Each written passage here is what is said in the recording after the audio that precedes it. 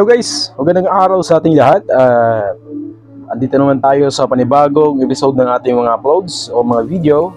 Ayan, si Gtech po. For today's video ay magte-testing tayo ng isang Class D amplifier, no, na uh, audio amplifier, uh, 500 watts. At ayan, at gagawin po natin siya ngayon at te-testing po natin kung gaano ba nga ba siya kalakas. Bago tayo magpatuloy guys, kung bago pa lang kayo sa ating channel, ay inaanyayahan ko kayong huwag kalimutang mag-subscribe at pinutin yung uh, notification bell para lagi kayong updated sa ating mga bagong uploads. So ayun na nga guys, at simulan na natin yung ating uh, pagbubuo ng isang testing o buuhin muna natin yung ating Class D amplifier. So ito yung nabili kong uh, PSU board, no? Or supply board na may apat na capacitor na pwede mong ilagay. Ayan. So, buksan na natin.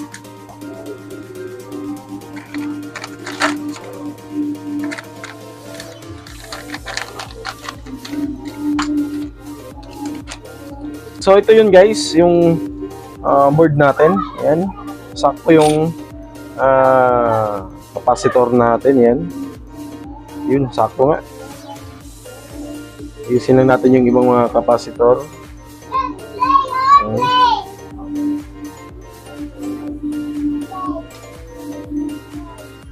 Ayan. So, ikita nyo guys, saktong-sakto yung ating mga capacitors. No? Hindi tayo mahihirapang gabit. So, ito rin. Uh, ito nga din pala, yung capacitor na ginagamit natin. Uh, Rubicon. 100 volts, uh, 10,000 microfarad. Ayan. So, ito ay i-feature ko sa inyo, no? Ito yung pinaka 500 watts na Class D. Yan.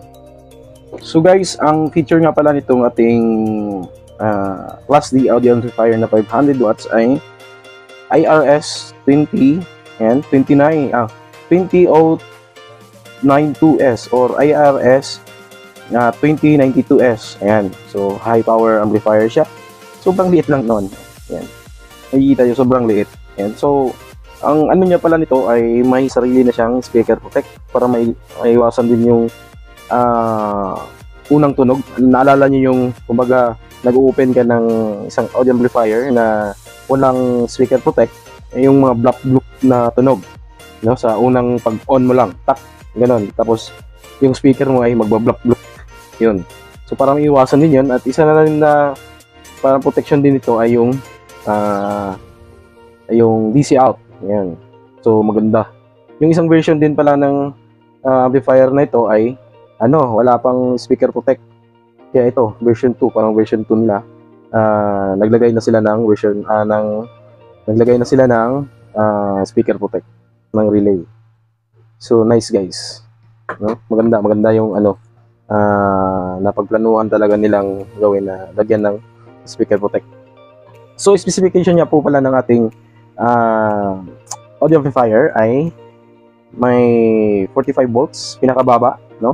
Uh, minimal voltage. Positive, negative na uh, 45 volts. Tapos, uh, pinakataas niya ay 70 volts. So, uh, pinaka ano talaga niya, di ba? Malakas na voltahe ay yung 70. So, mataas talaga yung voltahe na kaya niyang i-handle. So, kung tataas ka naman, ay pangit din. So, ayan. Pinaka recommended voltage niya ay sa 65 volts lang. Ayan. At may 4 ohms load. Ayun, di ba? 4 ohms load.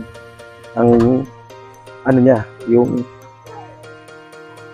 uh, ah, 4 ohms load yung kaya niyang i-handle ng ating audio amplifier. Kung may uh, dalawa kang speaker na 8, uh, 8 ohms, pwede mong i-parallel para maging 4 ohms. Yan.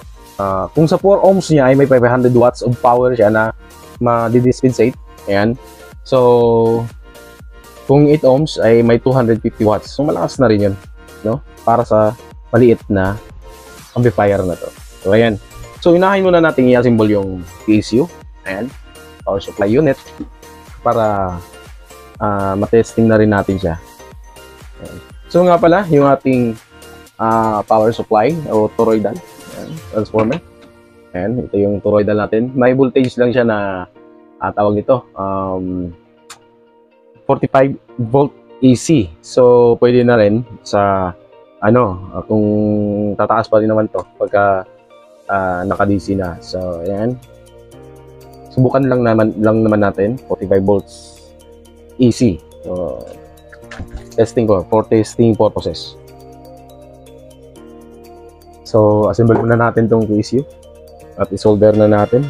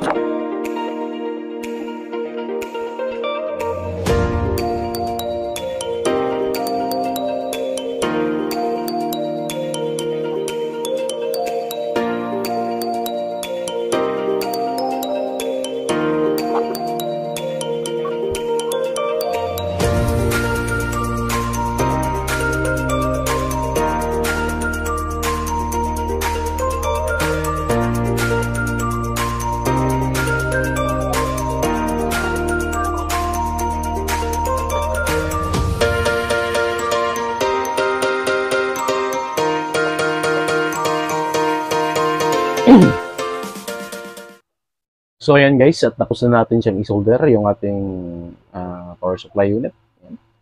Kabit na rin natin yung kanyang mga uh, yung dito sa may paa niya. ayan, para hindi siya dumikit sa kahoy. Kasi itong kahoy din na to, yung paglalagyan natin for testing purposes.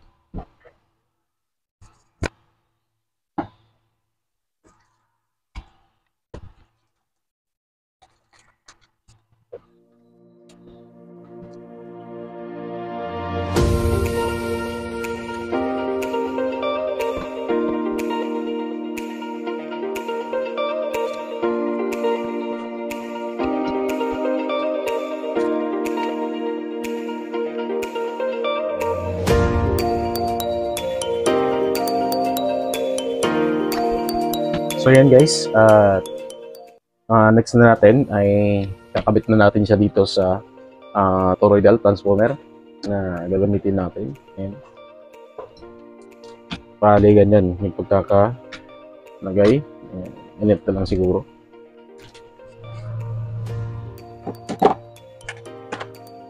Tapos, Ayan, parang ganito lang. uh, testing lang kasi natin. Ganito lang siguro. Lumabat ang gulo ko.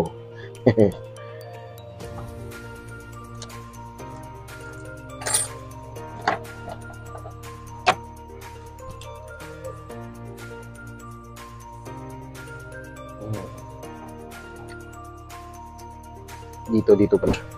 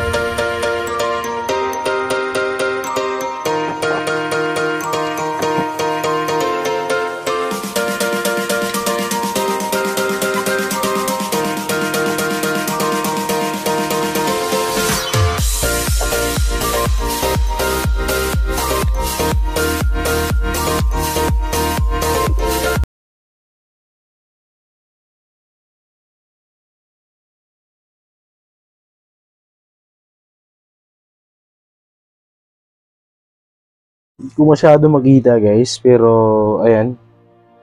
Uh, may marking siya dito sa ilalim. Negative, positive, ground. Uh, check ko muna to para hindi tayo ma madedo. Para maganda yung resulta. So, ito yung positive. Positive. Kasi ito yung ayun, positive, negative. So, ito yung speaker out. Ah, okay. So, out positive, out negative. Ito yung para sa speaker na side. Yan. Nakikita nyo? Yan. Ito yung para sa speaker na side. Tapos, ito yung ah ito ito para sa supply.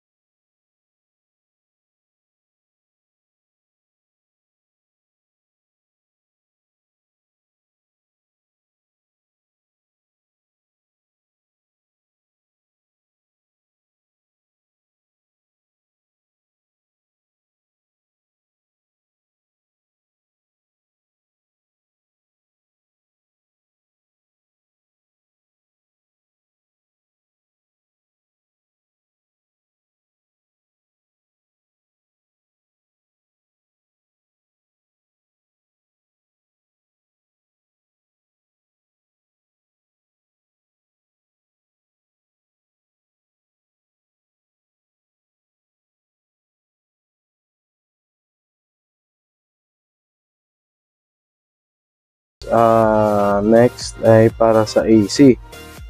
No? Ito nga pa pala, yan. AC in po ito na 220 volts dito. Masyadong mataas ano. 220 volts. Maingat na lang tayo kasi sa liit ng board niya, may 220 volts pa na dapat ilagay. So, ingat-ingat na lang po tayo guys. Ayan speaker out.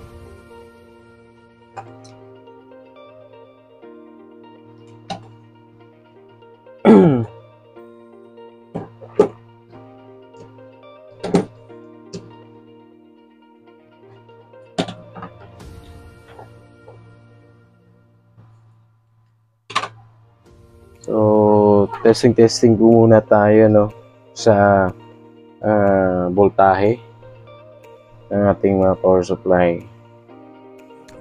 So yun guys, at subukan na rin natin ang ating audio amplifier kung goods ba. Ayan, at ginamitan na rin natin ng ating mahiwagang bimbilya.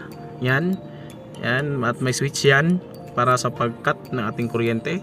So yan yung setup natin, transformer, amplifier at yung PSU board. So ayun guys, at ayan, sasaksak na rin natin.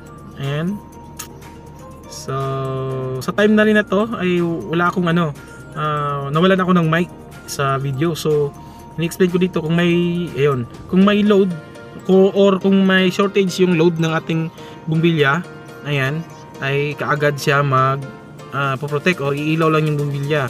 So, sa nakita nyo sa video ay okay yung ating uh, project, no?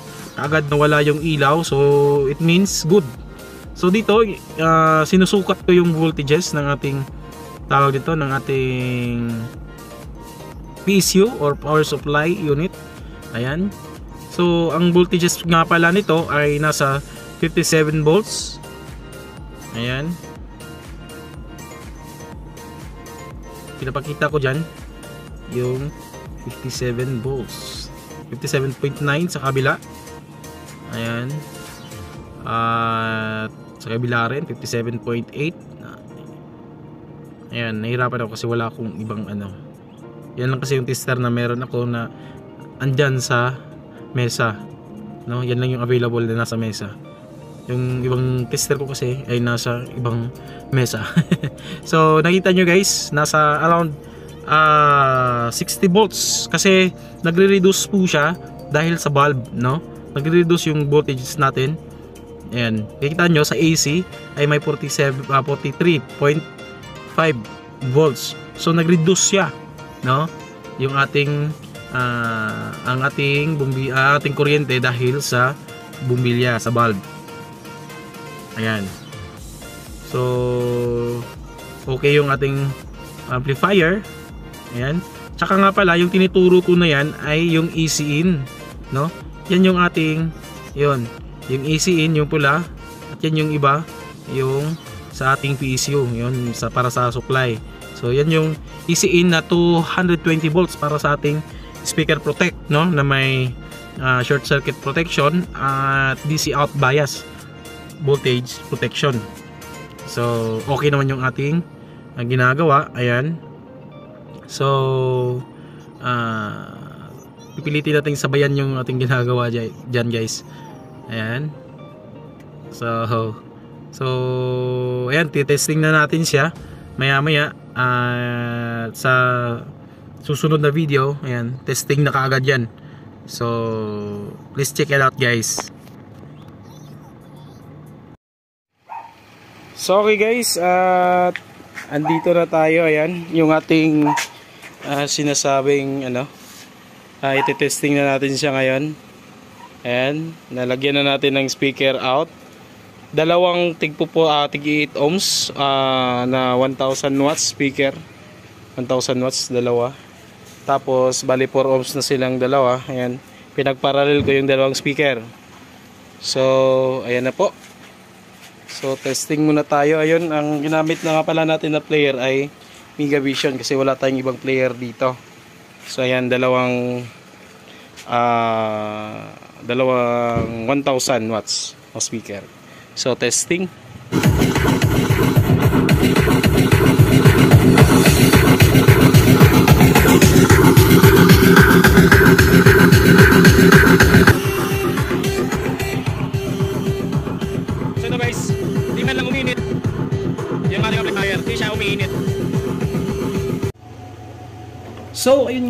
Guys, at uh, natunghayan nyo po yung ating sound check kanina. Kung ilang watts yung kaya niya, ayan, at gaano siya kalakas. Sobrang lakas po talaga guys. So, ayun, uh, kanina ay kung napansin nyo, eh, isang channel pa lang yung andito, ayan. At uh, ito yung umaandar kanina. Ngayon, dinalawa ko na. Kasi nagustuhan ko yung output niya. Malakas talaga. Kayang-kaya ng isang channel yung dalawang tigo 1000 watts na 8 ohms. So ayun guys, no? At saka pala ay full speaks po muna tayo about dito sa ating uh, unit, so, sa ating class D uh, amplifier, no? Uh, ito ay isang uh, pure class D 500 watts amplifier na may IRS 2092S original driver chip, no? Nandito yan sa likod. Yan nasa likod niya. Hindi ko kasi mabaklas kasi nakapwesto na siya. Ayan. So, andun yung IRS niya na chip. So, may ano din siya, uh, tawag nito, na MOSFET na galing sa Fairchild na may uh, MOSFET uh, code na may 39N20T, no? Power MOSFET by Fairchild. Ay ayos talaga yung ano kasi MOSFET pala talaga yung uh, ginagamit dito. Hindi yung IC lang, no? Meron kasi iba na class D, uh, ah, IC yung ginagamit. So, ito ay isang transistor talaga na MOSFET.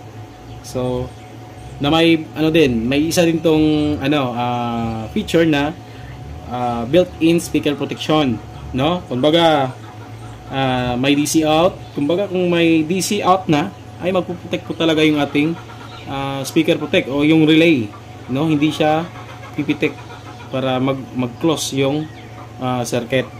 Tapos output short circuit protection. Uy maganda yon di ba? Pag sinabi natin short circuit protection ayan na.